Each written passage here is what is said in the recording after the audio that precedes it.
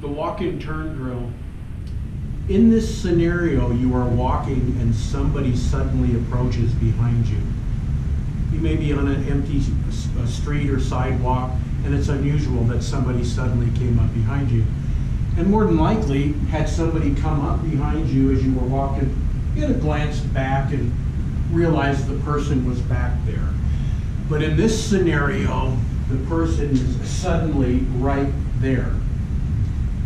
Now think about it. When we're walking along and we're in mental condition yellow and paying attention, if somebody approaches us from another angle, that's very easy to deal with. You know, you're walking, this guy comes here, you drop into the relaxed ready position and you deal with him. He's in your field of vision here. It's in these directions back here, and especially your direct six, that is going to be very difficult to deal with.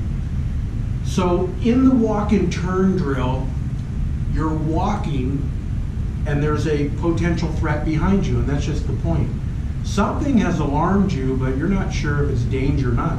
Could be somebody just came up behind you suddenly and you just didn't realize they were there.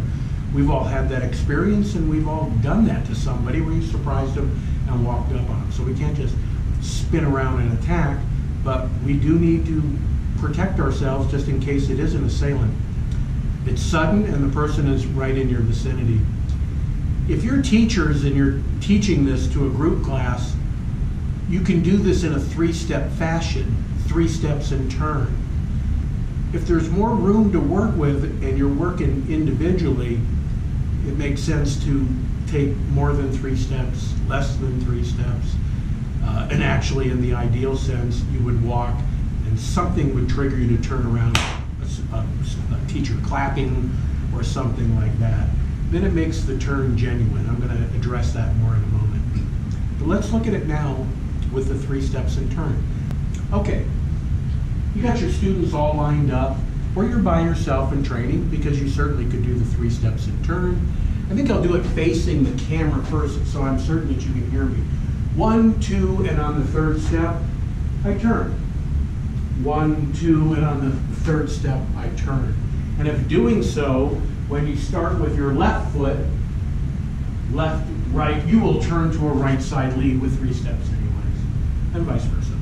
When you start with your right foot, one, two, three, you will spin to a left side lead. Now let's talk about more about what I'm doing there. I'm walking, I suddenly, I heard the thing, the person behind me. I maybe it's somebody on a bicycle. I've had that experience. And the bike is coming up quickly on you and it's to go by on your right or your left, and, uh, but you don't know that. It's just suddenly come up on you. When you turn, we are turning to the relaxed, ready position. So several things happen at once. The first thing that ought to happen is your head turn immediately. So your vision starts to get on track with whatever is back there. Notice that when I turn my head, it starts to turn my body as well.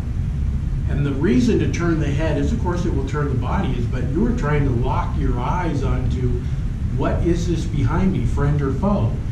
Is this something I'm going to have to react to in a self defense emergency violently? Or is it just somebody passing by? So the head turns immediately and it starts to turn the body and we turn into the relaxed, ready position. And at this point, we deal with whatever's happening appropriately. When you turn, turn the head immediately and start to spin around. Drop your chin slightly, and very important, raise your hands immediately. One of the weaknesses I'll notice with students sometimes in the beginning is they do it like this.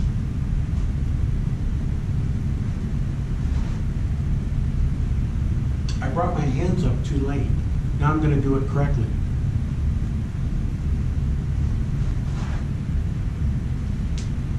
When you spin around like this, it's either friend or foe, so to speak. If it's not a, a threat, friend, so to speak, you're going to alarm them and they're going to realize that they alarmed you. And I know this because it's happened to me a number of times.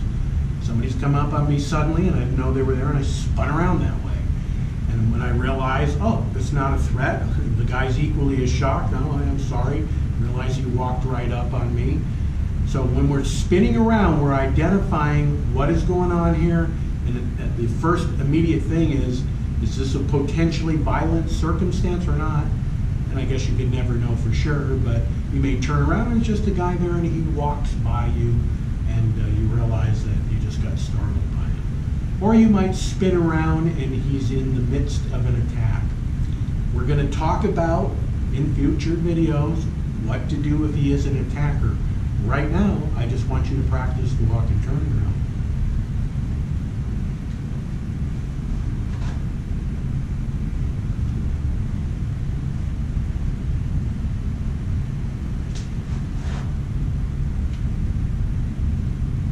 Now, I want to come back to what I said earlier. Something I said earlier. When I'm teaching the group class, and I'm teaching this concept to the class, let's say I have, I don't know, eight, nine, ten people in the class. I have them uh, turn their backs to me, and they're to walk away from me. So they're walking away from me, and at some unspecified time, I clap my hands. And when I clap my hands, that's when the threat appears. And what you'll notice, teachers, as you're doing this, is when it's done correctly, well, whether it's done correctly or not, the students will turn at different times. They won't all turn to the same, at the same time, to the same side. And the reason is very important, and it brings out a very important point in the walk and turn drill you want to continue to carry forward from this potential threat. Remember, this time, we don't know if it's a threat or not, but we're spinning around and realizing it could be, and I better be careful. Keep carrying forward away from the threat.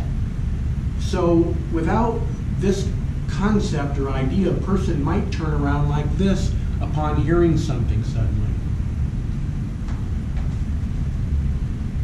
Now notice I spun around on the spot. One, two, and instead of carrying forward, stopped and turned around. That would be the normal thing to do in a non-combative situation. Well, we're a little more aware than that. So we realize we better spin around in a tactically sound way. And this way, too, if it's a threat, we've prepared for it well. If it's not a threat, no harm done. If it's not a threat, it'll just look like this. We heard the thing, we continued to carry forward. Oh, sorry, Em, you surprised me. You know, no harm done. She's going to realize she surprised you, or he surprised you, or whoever it was that came up behind you. And of course, if there was an issue and you spun around and you could deal with it with one of the attack combinations. You see his attack, you attack. I want to cover that more though in another we spin around and attack and all the things, but basically that's it in a nutshell right there. So back to the instructors who are teaching this, and of course it's instructive to all of us to learn it because many of you, most of you, probably almost all of you, are training alone at home like I do in my private little dojo here. So, you're moving away from the target, you were the instructor and you were clapping your hands, you'll find the students are all walking, but then when you clap your hands, some of them will be in a step stride, if you will, that allows them to turn almost instantaneously when they hear the sound. That's nice. Well, maybe it's not. Maybe it is. Let me explain. Others may be, let's say I hear the sound now. I can't turn to a left side lead. I'm going to have to step again. I hear the sound. I'm going to have to step again. But notice the advantage that had. I carried further away from the potential attack. If the attacker were in fact pursuing you with a punch, you would be moving away from the attack. So notice, I'm going to just step and turn each time I step to make the point about you're learning to step and turn, to turn as you walk.